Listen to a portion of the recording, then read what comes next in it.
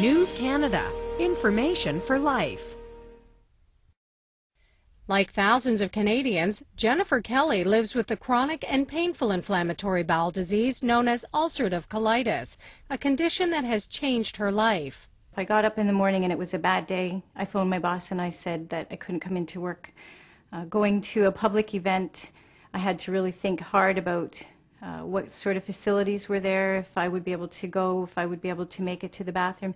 There were times even I remember going to get groceries and I would make my husband come with me because, you know, you get your cart filled up and you have to go to the bathroom. Canada has one of the highest incidences of ulcerative colitis in the world.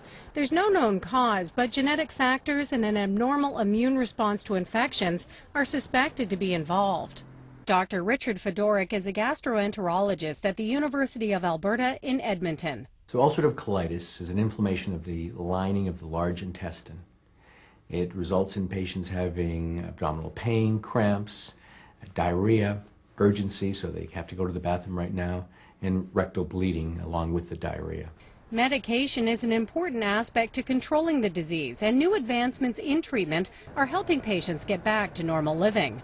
Recently, Health Canada approved the use of Remicade for treating moderate to severe ulcerative colitis.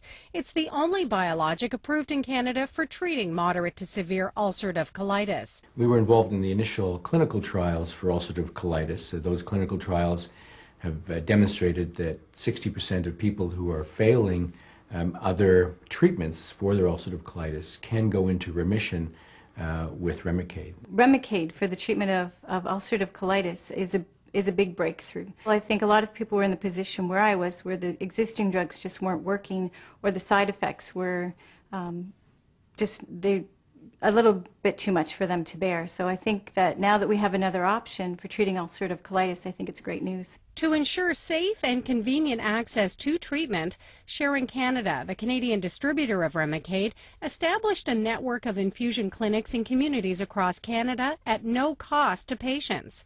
The Remicade Infusion Network provides one-on-one care in a comfortable environment outside of a hospital setting. Specially trained healthcare practitioners administer, monitor, and assist the patient during each infusion. For more information about ulcerative colitis and treatment options, speak with your family doctor or a physician who specializes in gastrointestinal diseases, called a gastroenterologist. Sherry Demetarco reporting.